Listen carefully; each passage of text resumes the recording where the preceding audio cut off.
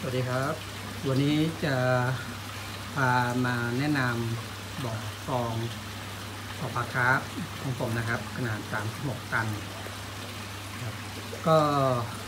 ตรงนี้ก็บ่อเลี้ยงนะฮะ แล้วก็มีน้ำตกลงมา มีม่านออกซิเจนนะฮะอยู่ตรงโน้นนะฮะสำหรับสะดือบ่อนะครับ เป็นท่อ 4 นิ้ว 3 ท่อนะฮะ 4 นิ้วทั้งหมด 3 จุด 1 2 3ท่อทั้ง 4 นิ้วนะฮะสะดือบ่อจะวิ่งมาช่องกรองช่องที่ 1 เป็นช่องน้ำเข้าเฉยๆนะฮะ ช่องนี้ผมมีการลดจาก4เหลือ2ทั้งหมด3ท่อนะฮะเป็นทั้งสามท่อเลย จากนั้นก็จะมีการล้นข้ามมาช่องที่2นะฮะ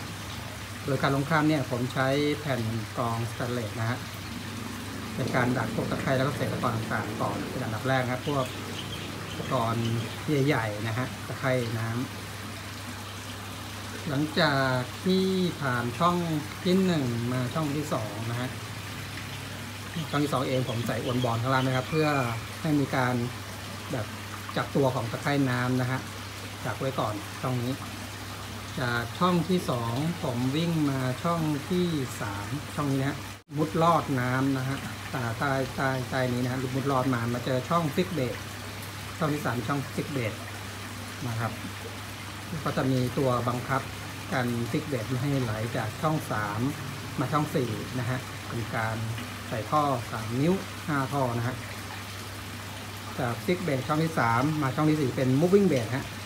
ช่องที่ 4 moving bed ปั่นพวกตะกอนอะไรต่างๆนะฮะจากช่องที่ 4 มุดลอดมาช่องที่ 5 นะฮะมุดลอดช่องที่ 5 อันนี้ก็จะเป็น filter mat แล้วนะฮะกับพวกออกซิเจน เพื่อเลี้ยงจุลินทรีย์ครับ จากช่องที่ 5 ล้นข้ามไป 6 ก็จะเป็น filter mat เหมือนเดิมนะฮะ ล้นข้ามมาก็เป็น6 filter mat จาก 6 ลอดไปช่องที่ 7 นะฮะ filter mat อีกนะฮะ เพราะฉะนั้นช่องที่ 5 6 7 จะเป็น filter mat หมดเลย หลังจากช่องที่ 7 นะฮะก็จะเป็นการล้นข้ามแต่ลักษณะล้นข้ามผมใช้ท่อนะฮะท่อมุดลงไปนะฮะท่อสามนิ้วห้าเส้น นะฮะมุดมุดลอดลงไปข้างล่างจะเจอช่องที่ 8 ซึ่งเป็นท่อปั๊มน้ำนะฮะระหว่างช่องที่ 7 กับ 8 จะมี UV นะฮะซึ่งผมใส่ UV ไว้ในท่อ 3 นิ้วที่มุดลอดข้างล่างเลยนะฮะคือท่อ UV จะอยู่ในท่อ 3 นิ้วนะครับ ที่เป็นตั้งตรงลงไปข้างล่างแล้วก็มุดลอดนะฮะท่อยูในนี้เลย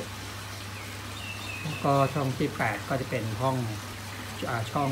ปั๊มน้ำนะฮะมี 2 ตัวตัวหนึ่งสแตนบายตัวนึงนะฮะทำงาน ก็จะมีหลังจากนั้นก็จะยิงน้ำนะฮะวิ่งไปที่น้ำตกนะฮะซ้ายแล้วก็ขวาครับผมในช่องที่ 8 ช่องสำคัญอีกช่องหนึงก็คือครับช่องนี้ครับผมเรียกช่องที่ 9 ก็คือช่องเดนน้ำทิ้งนะฮะเดนน้ำทิ้งเนี่ยผมจะมีการเดนน้ำทิ้งช่องที่ 2 กับ 3 เนี่ยบ่อยที่สุดนะฮะทุกๆ 2 วันนะฮะ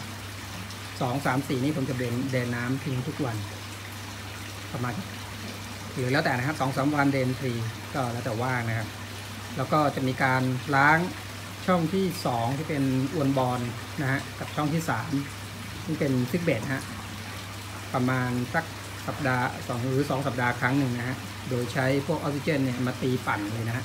ตีปั่นให้ fixed bed เนี่ยกลายเป็น moving bed แล้วก็ตะกอนได้ตกลงไป หลังจากนั้นก็ ดูดทิ้งครับ ก็เป็นคร่าวๆนะครับ อธิบาย ช่องกรองบ่อปลาคาร์ปของผมทราบพอสมควรนะฮะ แล้วก็น้อมรับคำติชมครับผม แนะนำยังไงสอบถามได้ครับ ขอบคุณครับสวัสดีครับ